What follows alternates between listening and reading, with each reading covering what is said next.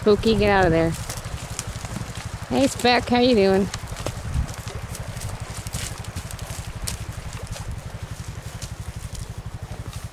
Today is the 25th of April.